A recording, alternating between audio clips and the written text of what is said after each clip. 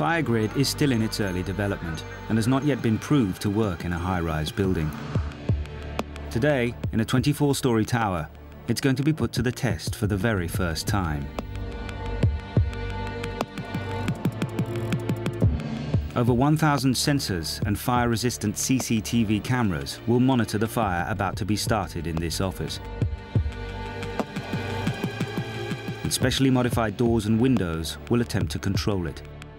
So basically, this is an automatic fireman in a way, who is closing and opening doors in the right way so that the fire doesn't grow. The first challenge is to delay flashover for as long as possible. Under normal conditions, this would be expected to happen within four seconds of a fire starting. The test is run from a command center in the ground floor of the tower. In case the experiment goes wrong, firefighters are on standby throughout the building. Final checks are carried out. The firefighters give the all clear. And the fire is lit.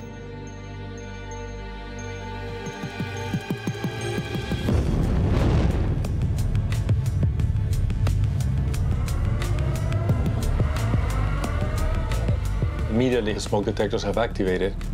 Within seconds, the room begins to fill with deadly smoke. A fireman walking in into this room at this point will see a large glow, which is the fire, but that's all the information he will get. Uh, it will be very dark, filled up with smoke. And uh, even the corridors, as we can see, the corridors are full, so the fireman will not be able to see anything within the corridors. This is the signal to open the windows. As the windows open to allow the smoke out, the doors close to prevent any from escaping into the rest of the building. The smoke is probably the most dangerous aspect of a fire, so containing all the smoke within the room is the first level of protection that you can provide to people. Temperatures are beginning to rise. After two minutes, the fire is growing and the smoke is starting to build up. At this point, most likely most of the people within that floor would have evacuated the building, so we can start opening the doors.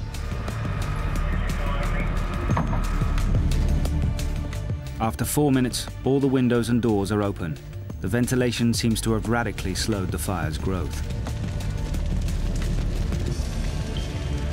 Without any intervention, the fire would have reached flashover conditions. Finally, after 12 minutes, the fire is starting to become uncontrollable.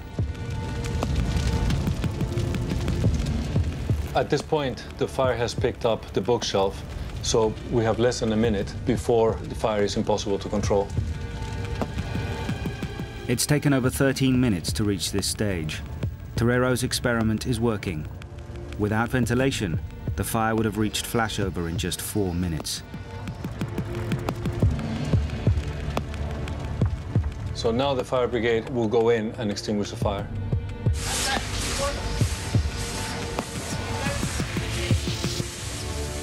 The system has slowed this fire's growth by three times, and without putting a firefighter at risk.